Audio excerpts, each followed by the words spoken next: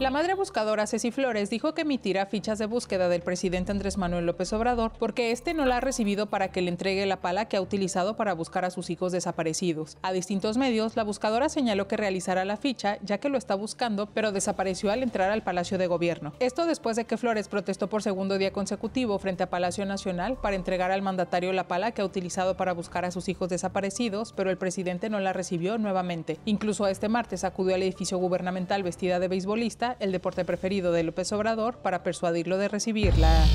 Dulce Vaca, una joven madre de cuatro hijos, fue presuntamente apuñalada por su esposo el pasado 14 de marzo en el fraccionamiento Salque, en la capital de San Luis Potosí. La joven de aproximadamente 25 años era creadora de contenido en la plataforma de TikTok y el pasado 8 de marzo acudió a la marcha de mujeres en la entidad y además regaló flores a las que se encontró en su camino junto a su esposo. También compuso una canción titulada 8M en la que describe las violencias que viven las mujeres y habla sobre el empoderamiento femenino para no permitir violencias en una relación. La Fiscalía General del Estado informó que ya se encuentra investigando investigando el caso como feminicidio y que la pareja de la víctima se encuentra detenida. La rapera y activista indígena Sara Monroy denunció este lunes que por ser lesbiana el gobierno tradicional de la nación, Comcaacseri, en Sonora, le negó una candidatura para ocupar el cargo de regidora étnica en el ayuntamiento de Hermosillo. La promotora cultural acusó en una entrevista con la agencia EFE al gobernador tradicional Genaro Robles y al presidente del Consejo de Ancianos Enrique Robles Barnett, y a decirle que su orientación sexual podría quemar al pueblo. Tenemos derecho a ser votadas y votar. Así lo dice la ley y un pacto nacional que hicieron para las mujeres, el Instituto Electoral y el gobierno, pero me dijeron que no puedo participar participar por ser gay, que iba a quemar al pueblo. Nuestro consejo me lo dijo. Eso es machismo, es violencia de género y está mal expreso.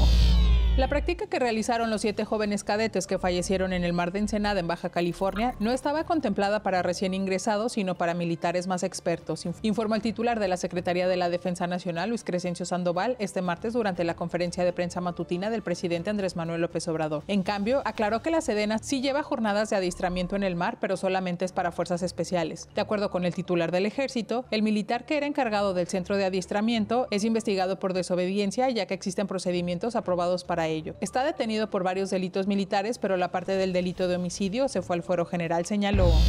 Un video en el que tres cadeneros agredieron a dos jóvenes afuera del Chabolabar de León, Guanajuato, se ha vuelto viral en redes sociales luego de la brutal golpiza que sufrió uno de los afectados, quien quedó inconsciente en la calle. El incidente ocurrió durante la madrugada del domingo en el centro nocturno con dirección en calle Moreno 407. En distintos videos que circulan en redes sociales se puede apreciar a los cadeneros empujar a los dos jóvenes mientras discutían con gritos. Posteriormente, uno de ellos abraza a una mujer para protegerla y los tres trabajadores de seguridad privada se lanzan con todo contra el otro joven. Según usuarios de redes sociales, esta no sería la primera vez que ocurre un incidente violento con los cadeneros de Chabolabar.